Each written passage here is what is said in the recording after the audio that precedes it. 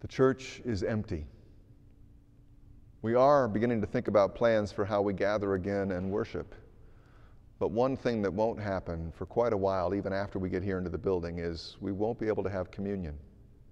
It's just too dangerous to have the cup and the bread passed around when there's the potential of passing around the virus. We just, we just can't do it.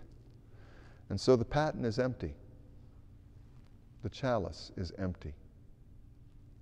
Believe me, I miss this as much as you do, if not more. One of the joys of my life over the last 32 years has been able to stand at the altar and stand and preside over communion. It means so much to me personally. And I know it means a lot to you to be able to receive. And as I said, that won't be happening for quite a while.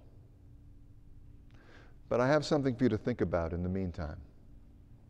Regis Duffy, who is a great Roman Catholic scholar, used to say that every Christian religion at some level says that in communion, in bread and wine, somehow Christ is present.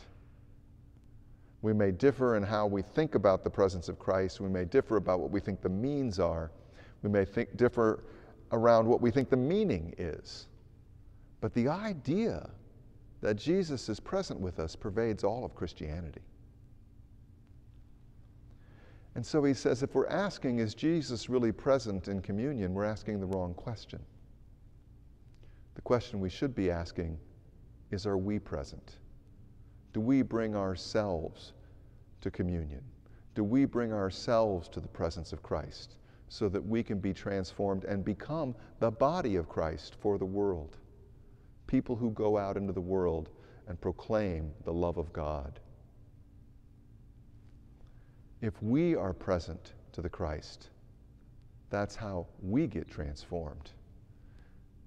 We may not have the bread and the wine for a long time to come, but we still proclaim the presence of Christ.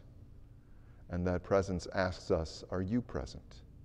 Are you willing to be here and be transformed to become the body of Christ for the sake of the world?